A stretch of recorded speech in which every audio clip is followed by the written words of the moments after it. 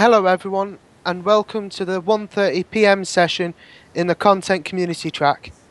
As a reminder to our in-world we- and web audience, you can view the full conference schedule at conference.opensimulator.org and tweet your questions or comments to OpenSimCC with the hashtag OSCC14. This hour, we're happy to introduce a terrific session called Rockstar Avatar The Making of a Holographic Avatars in Mixed Reality, Integration of Neurogaming, and Multi-Sensory Systems. Our speaker today is Bella Luna X. Miss Rangel holds a Master of Fine Arts in Producing Design and Production from Cal Arts is a graduate of the SUGSP 11 program at NASA Ames and is currently heading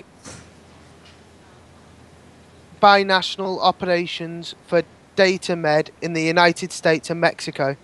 Miss Rangel was selected to attend the fourth conference on artificial general intelligence at Google headquarters. That same summer, she gave a mixed reality presentation on virtual worlds at NASA Ames with Peter Rosedale, followed by guest speaker engagement at the Second Life National Community Conference to present her research on holographic telepresence for avatars. Welcome all, let's begin the session.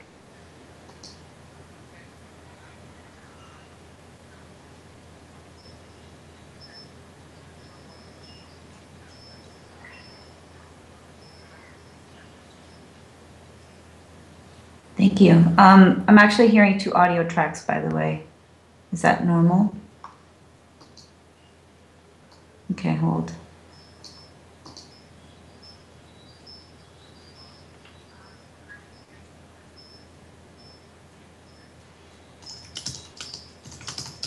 Yeah, give me a second.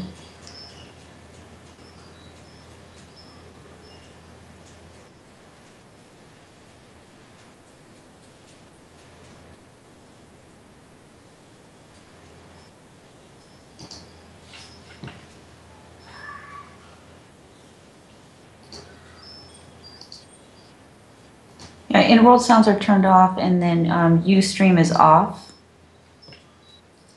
Should be fine. Perfect. Okay, let's get this party started.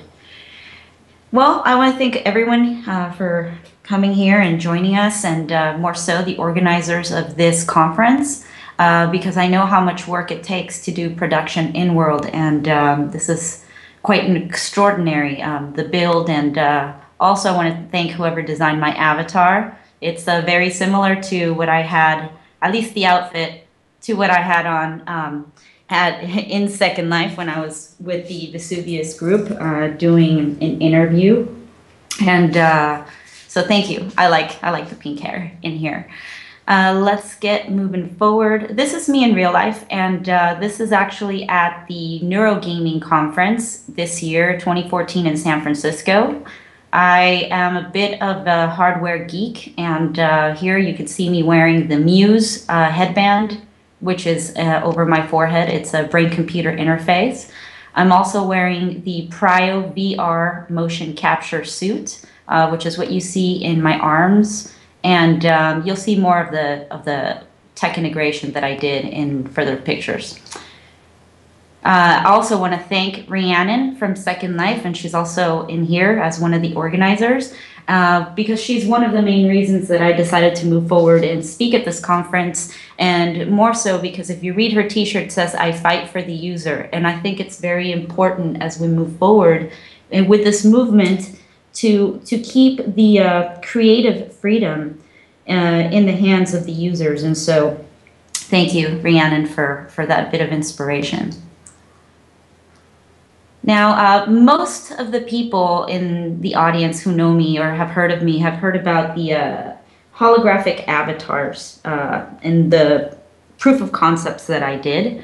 a few years back. Um, to be exact, it was about seven years ago when this entire journey started. And so as we move forward, you'll see some images. Um, here we are in Second Life. I'm the avatar on the left-hand side, not on the screen, but in the forefront. Um, and then next to me in the middle with the white jacket is Shmonson Daglish, who's also an SL avatar. And next to him is the fabulous Fabeline Cortez uh, from the Crossworlds Gallery. It, right behind us, you will see a screen. Um, that screen is live video coming in from San Diego, and that is a Musion holographic stage. That was the first time in history that SL avatars were projected life size, were interactive, and uh, were on stage with a live musician, Edwin Masters, who is on the left in that back screen. Um, I know uh, Tara Lynn Gravoy was a wonderful SL producer. She's also in the audience as Meg in this grid. Uh, she's uh, the dancer in the middle, so she was part of making history. And uh, it's pretty incredible to think that within Second Life, you could teleport to the Crossworlds gallery and go to the top floor in this bubble in the sky with 10 floors of gallery and art. And on the very top floor, there's a theater, and you walk into that theater and all of a sudden you're holographically being projected into the real world as a life size and people can see you here and so that's what we achieved and that was in 2010 um, november 5th 2010 to be exact. And uh, since then my partner uh, from the pictured in the middle he, he passed away. So i know that he's here in spirit and i know that he's probably dancing in his grave at what how far we've come. The next photo, uh, again, is a bit of a close-up of, of, that Musion holographic stage. And uh, here is an avatar standing in the middle um, with two people on the right. Unfortunately, we didn't have a lighting designer in-house, so we couldn't light the people really well. But so this is the second proof of concept and once we were able to get the second life avatars life size and making you know stepping through the veil into the real world um, then i started thinking well how can we actually do this with our bodies instead of just doing using mouse and keyboards? Because there's definitely a, a learning curve when it comes to that for the layperson. And so um, i teamed up with a company called organic motion in new york city and they have a markerless motion capture system, which is fabulous. And uh, we did a test where a person in New York was physically moving an avatar that appeared on the Musion holographic stage in San Diego. So that was another big moment in uh, virtual world history and with avatars because we were we were just delighted to see that something like this could be applied towards virtual worlds. Obviously, when we're talking about organic motion, that's an $80,000 system. But I think a lot of what we did there was the precursor to what can happen with the Prio VR suit at, so I think it's anywhere from 300 to 700 dollars and their super expensive suit might be 1400 so you're talking that about the biggest advancement in technology for applications in virtual worlds that i personally have seen has been in motion capture now you can have the system at home you can walk around and uh, i tested the Prio vr suit and i'm really really impressed with the capabilities uh, prior to me going into the virtual world, and this is more of a little backstory about what I used to do. That's me, uh, well, me as a real world person, um, holographically or holographic like system, but um, holographically projected. And uh, this is telepresence. This is live telepresence. And so I used to work uh, with corporations um, to be able to sell these type of systems so that they could communicate with uh, clients or with other divisions of their companies that are global. Uh, this company in particular, what we used to do is uh, we used to take R&D uh, technology from universities, license it, rebrand it, add our so software to it, and then sell it to Fortune 500 companies. And usually the way that business works is that when these when technologies are introduced, they primarily go to defense and aerospace, and then from there they go into medical, and then um, you know, and entertainment, education, etc. The Fortune 500 companies help to spread it to different levels. Um, in entertainment, you know, you get the production companies, and then after that, you get the audiovisual companies coming on board. So all of this will come into play as I move forward with my story, but all of this started with my work at this company um, because I was initially working with aerospace and defense clients, and uh, the thought of using this for entertainment was a joke to everyone I worked with. And I had just graduated from Cal Arts, which is a big art school. I was ran, ranked second in the nation um, in the theater program that I was in, uh, second to Yale. And uh, when I went to work with this company, it was mostly engineers and programmers, and they had no clue that I was coming from a creative background. So when I mentioned that there's potential applications of these technologies in the world of entertainment, really what I got was, you know, a laugh and, oh, Patty, that's Mickey Mouse. And um, I don't think they'll be laughing soon when Disney launches the technology and um, you'll, you'll see a revolution in what could be done in entertainment. Um, we also worked back then in 2007 with augmented reality. And so this is what got me started thinking about okay, how could we actually project the virtual world and uh, maybe do it with augmented reality? Um, I saw the, well, what is now known as Google Glass to most of you. Um, I saw the prototypes for the monocular augmented reality glasses in 2007. Um, they were from Konica Minolta. And so I knew that eventually there might be an integration that could work with that hardware. Uh, but obviously, we're a few years back. I mean, we, we were talking to Fortune 500s at this point, and entertainment, education, and uh, the other sectors were not involved in the conversation. But this would be what I would see as the precursor to uh, what can we do with Oculus, what can we do with glass, what can we do with the upcoming virtual reality contact lenses. Uh, this is a photo of a friend of mine from Italy that came to visit, and I took him into a virtual reality cave. Uh, the cave is one of the best VR simulators that I have personally experienced. Um, you walk into the room, there's trackers uh, above you, and you are inside of the simulation. It's like the Matrix. It's mind blowing. Um, the, we had a cave system at the company I worked for in 2007. Um, I've been into other VR simulators, such as the Star Cave at Cal IT2 Qualcomm, which is impressive.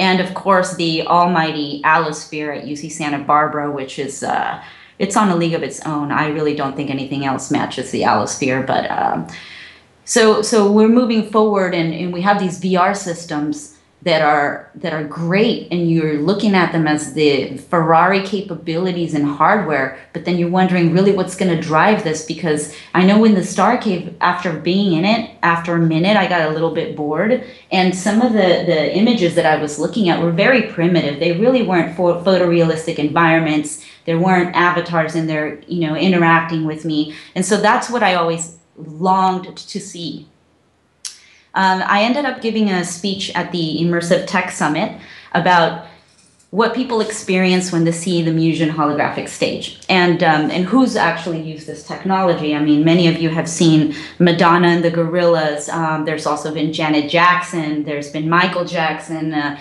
you know, Doc, uh, Dr. Dre, who was one of my clients at the time. Um, I was at that very first meeting when he was talking about Tupac uh, appearing at Coachella.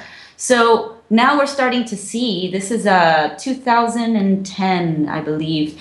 And so since 2007 when i was dealing with you know aerospace and defense and, and fortune 500s at a very high level now a few years later three four years later we're starting to see it breaking into the world of entertainment. And i really th- this is what got me thinking well what comes next? How can we move forward I was talking about the future of integration too, the need for faster computing power in virtual worlds, and uh, we do see that there's uh, that the road is opening in that aspect, and I think that's why we're all here because as we stand on the threshold of innovation, we know what could happen when we get access to that computing power and when virtual worlds can tap to that and uh, and and then create visualizations that with seamless information spaces.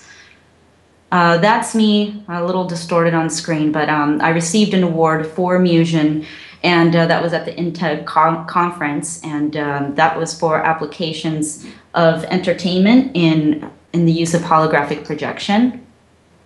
And this is JoAnn Kuchera from the Allosphere. I met her at the IMTech conference, and we discussed these ideas that I'm talking about um, here with you today. And she's a brilliant visionary. When you go to UC Santa Barbara and you step into the Allosphere and you're looking at the medical simulations or you're looking at, you know, other simulations about neuro, neuro like neuro neurogaming, I think that they're they're working on that right now and also military applications. And I'm talking to her about what is it that you really want to do, JoAnn? And she said, you know what? I'm a musician and I'm an artist, and I would love to see spaces like this used for art, for creativeness, for entertainment. And so we bonded on on that level, and I think that that's what I want to see virtual worlds being used for is to be able to create the content for these hardware systems so that they don't have to be pre-canned and pre-animated and sold us as if they were the real deal. I mean, we are the real deal in here. And uh, this is what got me thinking about the Allosphere. So this is, I believe, X-Men, and everybody's walking out into the bridge. And when you go to the Allosphere, you go out on a bridge, and you're looking at full 360 virtual reality. It's it's absolutely mind blowing. If you get a chance to go visit, please do so and tell JoAnn I said hello. Um, so being that I come from a theater background and that my master's degree was in theater producing from Cal Arts, uh, one of the things that came to mind when I was exposed to virtual reality, um, because that that was unintended. My my career in technology was unintended. It happened because at Cal Arts I was interested in holography and I started taking some holography courses and this is true holography with lasers and you see images in 3D. And so when I was going to my theater classes, they were discussing uh, you know Plato and philosophy and I didn't quite understand why we needed to study philosophy in theater. Then I understood that Plato was talking about in his uh, allegory of the cave in his in the book The Republic. Um, he was talking about people that might be inside of a cave and might be looking at a wall with images, you know, shadow, what you consider shadow puppetry, and they're being entertained by what they're seeing in front of them, and they might believe that that is reality and uh, might dismiss the fact that you know there's actually a tunnel that leads to the outside to the real world. I believe what plato was talking about um, was the precursor to virtual reality. Obviously in his time he would never have thought that we'd be building systems like the star cave or the allosphere but uh, again if plato was alive today he'd be jumping up and down if he went into one of those systems. So the the importance of the allegory of the cave is that we have to give credit where it's due. It's not something that's new. That the, the the thought of what we are creating and where we are now has been an ongoing process for several centuries. And one of the visionaries that really was able to see this, uh, at least in my book, is uh, Philip Rosedale. And uh, with Second Life, which is the second world, uh, the virtual world that um, I was created in, at least my avatar seven years ago, um, I was able to explore new worlds and to be able to immerse myself in the beauty of mass creation of many different users. By this I mean I've seen the, my, the most mind blowing builds and interactive games beyond anything I've seen in, in reality that have challenged my mind and to, to think, well, is this possible? To enjoy the experience as if I was actually there. And in some cases, to build that level of connection because of the interaction with other people, our community, to, to the point where I have memories. I have very fond memories of my virtual world surfing and, and meeting people and these experiences that I have with them. And uh, that also you know goes back to the allegory of the cave, what Plato said, and also this vision that um, Philip has, and and as we move forward, what is possible. Um, this photo was taken at NASA Ames, and uh, that's when he gave a presentation on virtual worlds, and um, I gave a presentation uh, with him. Uh, about the research that I had done uh, with the holographic projection of avatars from the Crossworlds Gallery. And uh, one of the wonderful things that we did at NASA with Philip, um, having him there, is we did a mixed reality presentation. And uh, the Vesuvius group from Second Life, uh, they're my virtual world builders and partners and amazing people in general. But um, they came, one of them um, came to NASA and uh, the tech director and helped. And uh, then we had the rest of the team on standby and attending the virtual conference. So we did this live uh, mixed reality presentation, and as you can see in the photo, Philip was co- coming through, and uh, the photo was taken inside of uh, Second Life.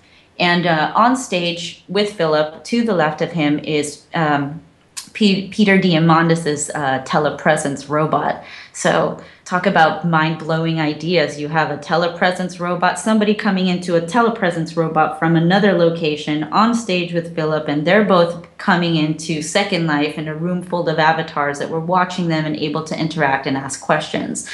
So uh, it, a lot of people that I've spoken to, they really don't get it. Um, you, all of you out here do because you know we're all tech geeks. But um, for the layperson, the concept of what I talk about is just uh, so far out there that it really helps to have visuals and video and uh, be able to do live demos. That's again uh, Bella, my avatar on the right in Second Life, with Philip coming through and the room of avatars that you know were coming from different locations. Uh, Friedrich, uh, who did the machinima, was coming in from the Dominican Republic. Um, in Kenzo, uh, another one, the first person who got me into Second Life, um, we built the Lightning Temple, which is a project she was doing in LA, and, and uh, she built it in Second Life, and I pitched it in Second Life for the Shanghai World Expo because the beauty about the virtual world is that you can build anything. You can build a project before it ever breaks ground in the real world and show it to people and they get it. And I think for the most part, I'd say more than 90% of the population is very visual. So if you show them concepts, in a visualization that they can walk around, interact. And she also had other avatars that were there, and that kind of blew people's minds because they were saying, "Well, I can't believe this cartoon character is talking to me." And it's like, no, that's an avatar with the user, you know, behind that. So um, that helps to introduce people into what we do. Um, then in 2011, after the presentation at NASA Ames, I was invited to speak at the uh, Second Life Community Convention and uh, that was to discuss the research that I was doing at the time at NASA uh, with the Singularity program uh, using brain computer interface. And, uh, and also the, the past research I did with the holographic avatars. But at NASA, uh, what my partner Elena Hardy and I did is that uh, we were able to use the Emotiv brain computer interface to move around the virtual world um, with my avatar. And I remember when she called me in because she really wasn't into virtual worlds and i said you know elena you got to try this. I'm pretty sure that it works and here's you know the Emotiv and here's second life. And i kind of showed her you know some forums about ref- that she could use as references and then she came to me and she said patty you got to come see this. And she puts the headset on me and i go in world and i'm walking around with bella and I'm not touching the keyboard and I'm not touching the mouse and I'm just using the Emotiv to move forward and move around. And I said, I have to go to Inspire Space Park because I love that space. So I go in there, and, and what I do most of the time in the virtual world is I, I'm always flying. I love flying. And so when I was able to fly inside of Inspire Space Park with the Emotiv, it was such a powerful feeling because of the rotation abilities of Emotiv. I was able to turn my head and look back and see the planet. And I felt that I was there. I had tears coming down my face because I felt that I was flying.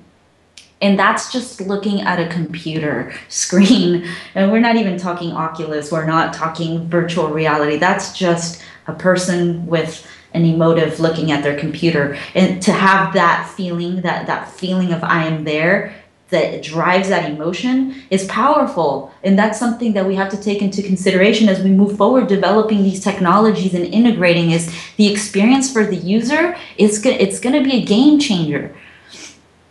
Um, here, we, here's Elena on the left hand side. She had the pink hair, so she'd probably be happy to see Bella Luna today in here with the pink hair. Um, and that was when she was actually moving her avatar uh, with the Emotiv. And then on the right, I was discussing the holographic avatars.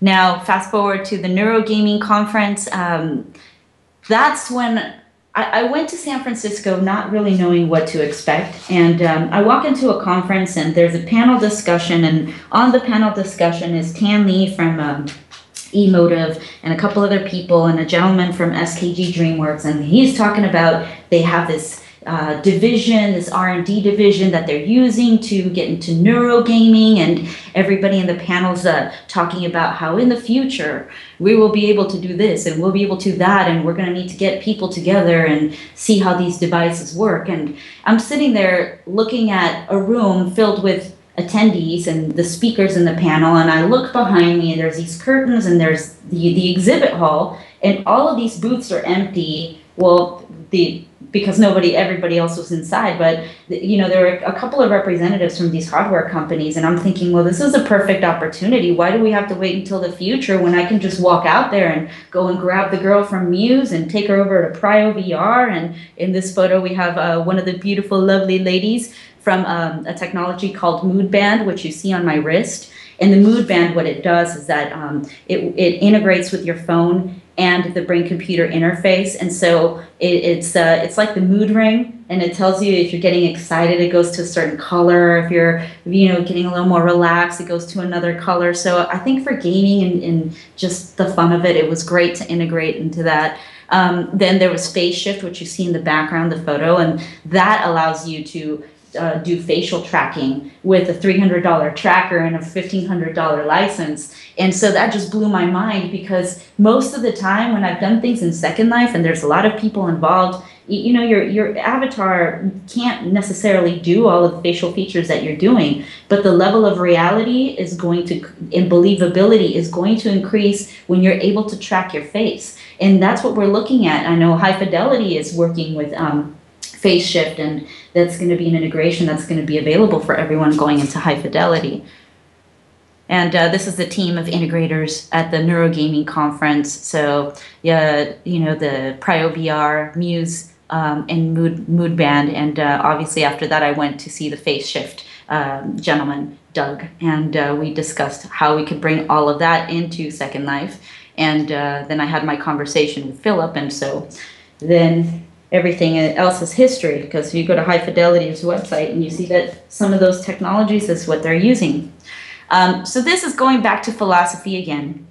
And so Plato's te- uh, teacher was Socrates. And I'm a big fan of Socrates uh, because he believed in a multidisciplinary approach towards education. And this is something that I come across all the time when we're talking about building content that goes with technology. More so because in the tech world, it, it almost seems that if you're not a programmer or you're not an engineer, that you, they look at the creatives as like, oh, okay, you're marketing, you come later, talk to me, you know, when we're almost done. But it doesn't work that way. A multidisciplinary approach is always best when you're building technologies because the creative mind allows you to do artistic prototypes and and it creates a mutual language between the tech experts and the creative experts. And when you have everybody building together you actually get better products. And um, we i did an, a one year study of this uh, through a recent incubator for innovation that is part of art of science learning and funded by a $2.5 million grant by the National Science Foundation.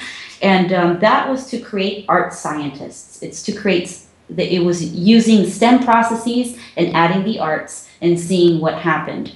And after a year of innovation, what we saw is that involvement of the arts through every step of the process was essential. And also that 200 CEOs interviewed about the valuable qualities and skills for their workforce, most of them were tied to the creative aspects of, of, of work. And so it really is important to look at the future of tech integration and virtual worlds with the mind of an art scientist. So thank you, Socrates, for your insight. Transdisciplinary, yes, yes, I agree. So um, going back, so, so I've talked about philosophy and I've talked about what I've done, but like I said, many people didn't realize that I actually come from my background prior to this seven-year journey in technology um, was in entertainment. I, I, worked in television. I worked the Olympic Games and um, did many award shows, the Emmys, Golden Globes, and uh, and then after that is when I got into theater. And in grad school, one of the things that I always questioned in the world of theater was why the director would take the vision of a playwright and develop that and and why the playwright was always kind of pushed away or not part of the process and most of the production people say oh well we don't want the playwright here because you know they're going to get nitpicky about things. So the playwright comes up with these great ideas with this great storyline and it's going to be produced but they're not really part of the process. So what i did is that i teamed up with Devorah Medwin, uh, who is a playwright, and she's a graduate of the Actor Studio in New York. And I took her into Second Life for the very first time. And Devorah is not your average tech geek. Um, she uses the internet for checking emails and might surf around, so the concept of an avatar in virtual worlds was completely foreign to her. In a process of maybe a week, she was in Second Life, had created her avatar, had been teleported, given a tour, and I took her to Avatar uh, Avatar Repertory Theater (ART), and they have a wonderful uh, Shakespearean theater, uh, and they produce plays in the virtual world. And so I was just intrigued to take this playwright and see if we can collaborate with ART and have her be part of the process that in the real world she otherwise wouldn't be part of.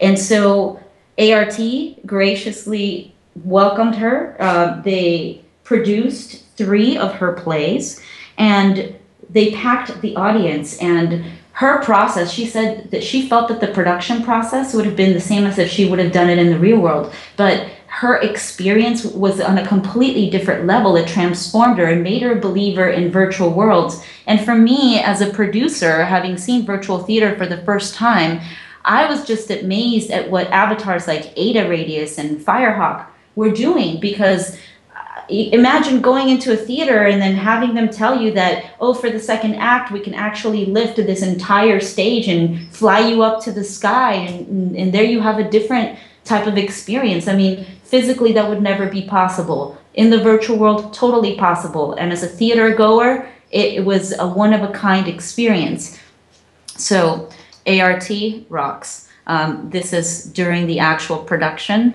of uh, one of Devorah's plays uh, at ART. And uh, some of the audience members looking at stay at the stage. I always love looking at um, photos, archival photos.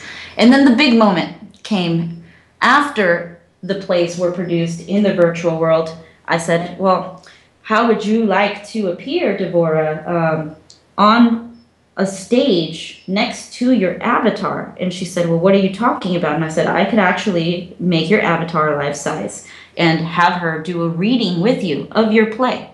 So here is probably the best photo that I have ever taken of a user next to her avatar, and that's Second Life avatar.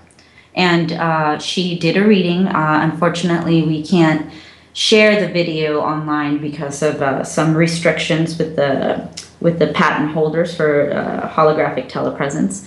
But at the same time, um, I wanted you all to see this because the the photos that I took in 2010 when we first put um, the avatars from Crossworlds on Immusion, um, they didn't come out too well. It was very dark, and we weren't really uh, shooting for a professional photo shoot. We just took what we had with our cameras. But um, this is really high definition, and this is what's available now. So now you could actually build a 100 foot Musion stage and bring in real actors, real performers from the virtual world to perform live. And not only that, with you know the use of PrioVR with uh, Faceshift you don't have to be pushing buttons to activate your avatar. You could be acting in front of your computer. You could be moving around the room, dancing and performing. Yeah, it's amazing, Nova. Trust me. So, so I love this. I love that this is now possible because it's come a long way since 2010. And uh, here you see Devorah on the left-hand side. She's extremely excited, and and that she she just can't believe that this is happening. And then on the right side is uh, my friend and uh, television producer Roz Taylor Jordan. Um, she's the producer. She was one of the producers of uh, Survivor and has done multiple shows. And uh, she contacted me around this time when I was talking with Devorah thinking about virtual theater. And she said, Well, you know, I got an idea for television that involves performances and this and that. And so that was the birth of Rockstar Avatar. Um, here's Roz on TV, and she's talking about Survivor. And uh, for two years, uh, she's been coming after me and saying, Well, how can we make this possible?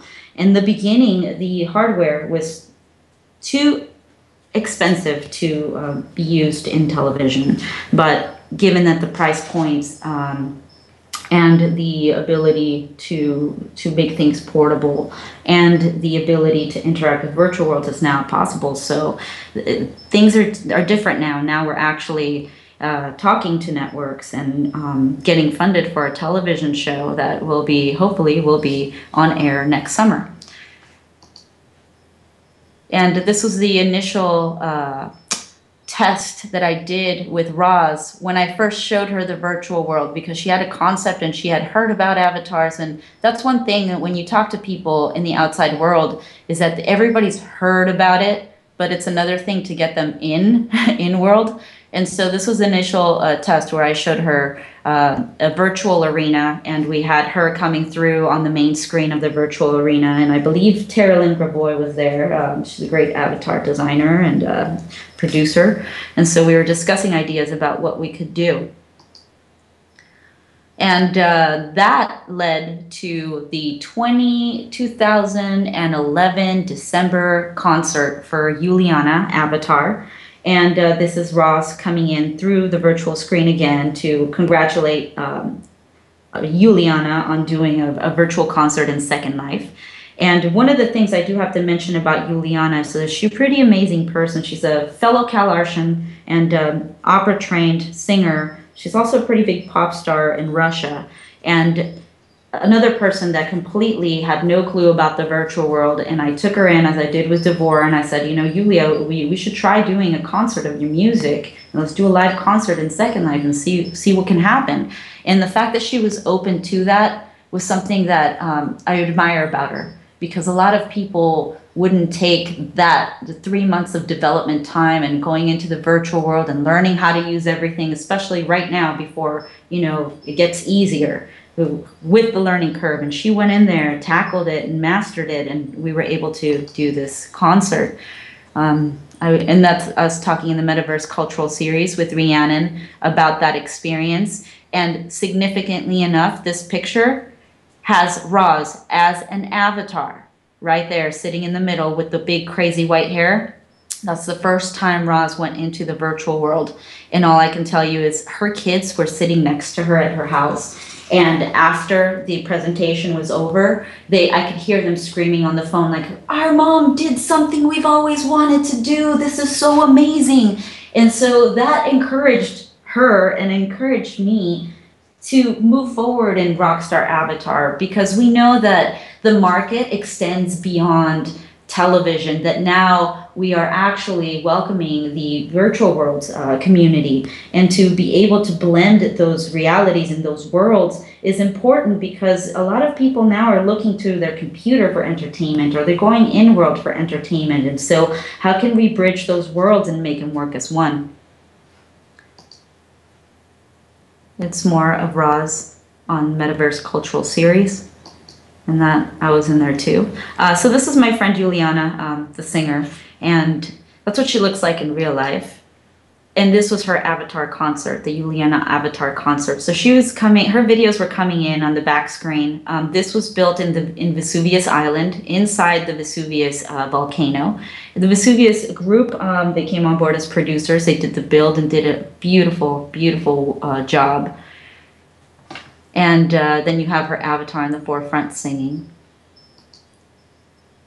Is more, uh, and, and, what was really fun about this concert was uh, being able to do the dance sequences because I had no clue how a choreographer would function inside of the virtual world. And uh, so I went shopping for scripts and put dances together, and uh, that was really fun. But one of the things that I always wanted to do is instead of sitting in front of my computers putting together dance sequences and hoping that they look good together, I actually wanted to dance. I, I love dancing, and if I could wear a PrioVR suit and perform at a virtual concert, I think that will fulfill one of my dreams. Here we go. More photos of the Yulia concert and uh, also Twitter feed coming in on the left side on the screen in the purple. So getting into a little more transmedia using virtual worlds. And these are beautiful images. It's just uh, documenting the work that we did. Yep, five minute warning. Here we go. Okay, and that's me in Second Life at Inspire Space Park doing particle shows and just kind of meditating, doing Tai Chi and meditating about what we could do as we move forward. Uh, getting into the side of technology, uh, markerless motion capture. This is a system that uh, we're using for Rockstar Avatar and um, trying to see if we can integrate it with PrioVR so that the concert in uh, high fidelity, hopefully we'll do it in high fidelity, could happen um, with the same motion being tracked in the show. And these are the gentlemen from PrioVR. So again, going back into integrating different hardware systems. And then also, uh, in case of musicians, how, how do we address finger movement? And so are we going to be using electronic fingertips, um, gaming gloves, integrating that into the avatar body for the user experience? And uh, another next level uh, future as we move forward of hardware systems is um, multisensory systems. So beyond the visual, which we're getting with Oculus, there's so much news about Oculus everywhere, um, and then beyond the virtual world and beyond the virtual reality is how can we involve other senses? So if you could touch people with those uh, virtual gloves, you can feel, you know, using haptics. What if you could smell avatars in virtual worlds if you walked into a forest and you can smell pine or if your rock star avatar was on stage and she had a certain scent a custom scent that was created. So um, i'm actually part of this multisensory systems um, group. And uh, doug nelson who is uh, ex disney imagineering is developing this technology. But once we had a conversation about virtual reality he went beyond the scent. He went like how could we integrate oculus into this? And then they started discussing uh, another uh, option of having a VR rig. How can we create a chair that is just fully sensory and it's part of the virtual reality experience? And that's what's available now with multisensory systems. Um, he calls it true virtual reality, and I think it's you know the Ferrari of scent technology and uh, virtual reality rigs. So for companies that are looking for for uh, creating spaces for multiple players where they can come in and uh, experience that, please contact multisensorysystems.com.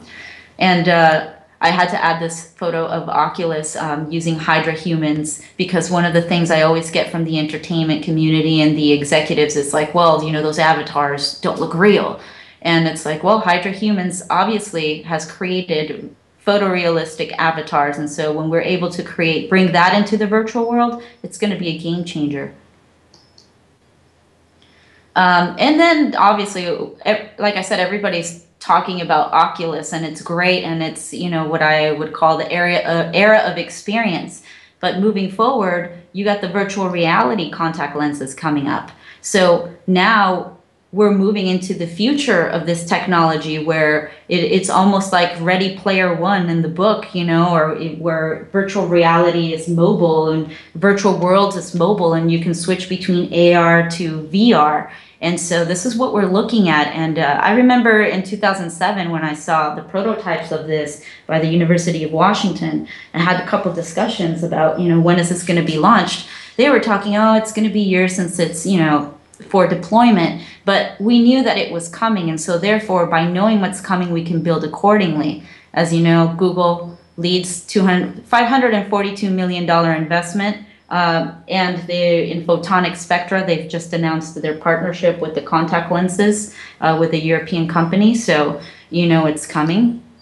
And this innovation um, is moving us forward into how we're going to experience virtual virtual worlds and I do believe it's going to be a disruption, and more so with Google spending that kind of money funding it. I mean, we are looking at the disruption of the entertainment industry.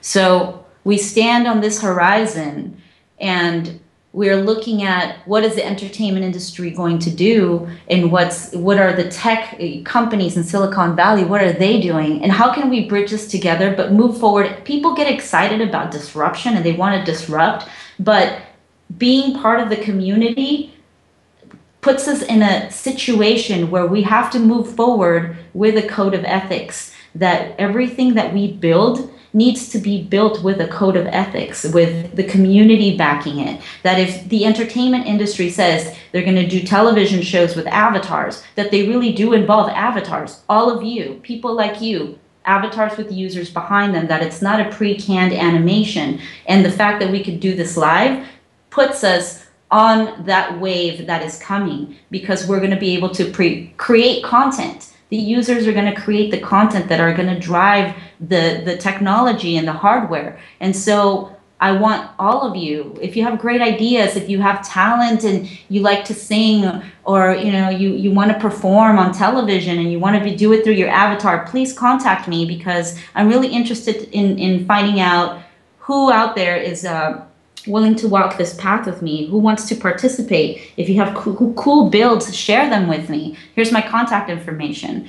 And um, and I look forward at this new era of, of doing it all together, doing it as a community, because that's that's really what it's about. If you were in a virtual world all by yourself, it would get pretty boring and lonely. And so, what makes the future is all of the people doing this together.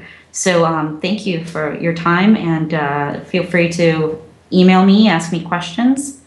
We need to finish now. Yeah, no problem.